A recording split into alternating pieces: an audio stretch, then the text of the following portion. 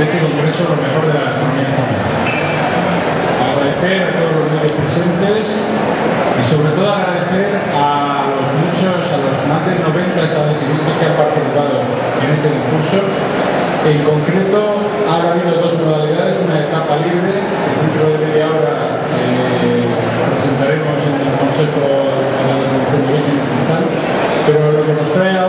etapa del salazón. El salazón es un producto típico alicantino y con este fin la organización ha pensado en que potenciar el salazón a través de la tapa, que es, si cabe, el mejor medio de llegar a lo más popular y de hacer un poco de patria y de hacer país, Rafael García Santos, eh, este concurso ha sido ideado un poco con esta función, tratar de promocionar la tapa alicantina que de tantos éxitos nos ha proveído y nos podrá proveer en el futuro.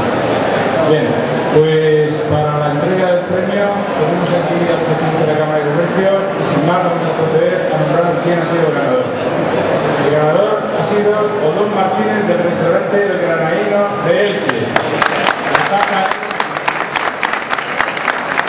Salmorejo, Quisquilla y Virutas Buenos días a todos y unas breves palabras para destacar la importancia que tiene un evento como este. El Congreso, organizado por Rafael, aquí con nosotros, y este concurso en especial, organizado por la Cámara de Comercio dentro de la feria, lo mejor de la gastronomía, y que se ha extendido a lo largo de casi nueve días, casi diez días. ¿no? Lo que hemos querido con este concurso, y le agradezco mucho a la Cámara que haya colaborado con nosotros, es abrir esta feria no solo a los restaurantes, sino también a los restaurantes que no participan en la feria. Ya han sido más de 90 los que han en sus respectivos, territorios haciendo unas tapas a precios de feria, inspiradas en la feria, pero servidas en su propio restaurante. Yo quiero agradecer muy especialmente a más de 90 restaurantes, barras y bares que han participado con sus tapas, entre otras cosas porque la tapa va a ser el resurgimiento gastronómico del futuro, va a ser el elemento de conexión entre el público, el cliente y los restauradores.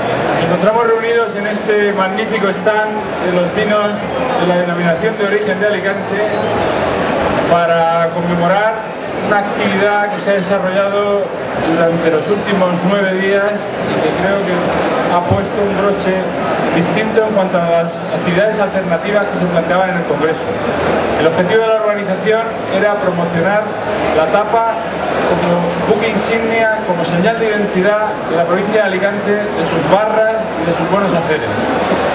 Hoy, la denominación de origen, con el patrocinio de la Diputación de Alicante, con la Cámara de Comercio, vamos a hacer entrega y nominación del ganador de esta primera edición del concurso de tapas y salazón y vinos de Alicante.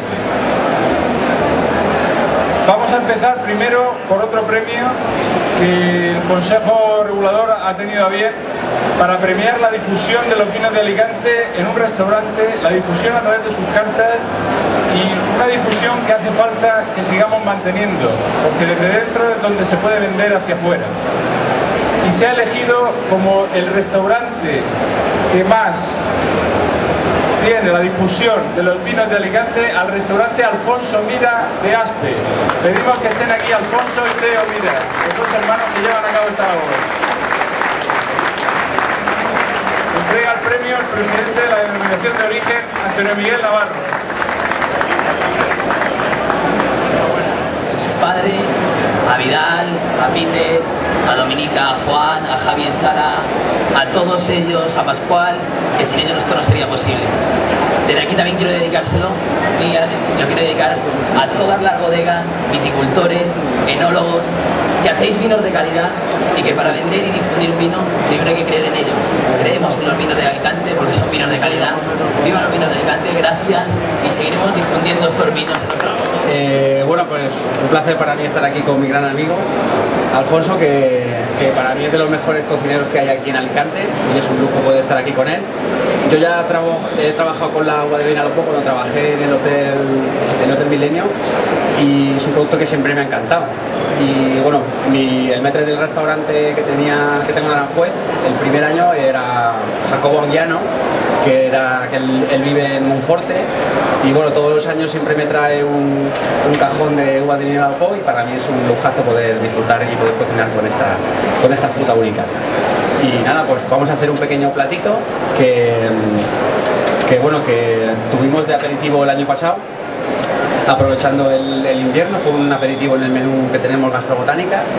Y nada, pues era es muy sencillo, es eh, utilizar la, uva como más me gusta, que es en crudo, eh, con la piel y despipada y le añadimos un poquito de unos productos que también se cultivan por aquí por la zona, eh, Santiago del Huerto de Elche y consiste en añadir un- unos dátiles mezclados con, mezclados con la dátiles secos de leche, mezclados con, con las uvas, un poquito de caviar cítrico y añadimos un caldo de verduras empapado con un poquito de un curry rojo eh, para darle un poquito más de sabor. Entonces mm, al final se mezclan texturas, salados, dulces, amargos, ácidos y es un plato muy, muy gracioso. Lo tuvimos de aperitivo y pero bueno, como plato, eh, un entrante en un menú perfectamente se puede utilizar.